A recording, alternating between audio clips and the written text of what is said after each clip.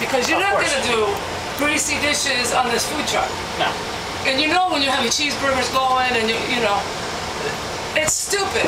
But if they, they come on your truck, they need to see you have hot running, running water. And you're gonna need a little water during the day, but it's really just a waste of space. Got a three bit bit sink. You know what? I put a cutting board on it and I butter my rolls. So smart. I cut a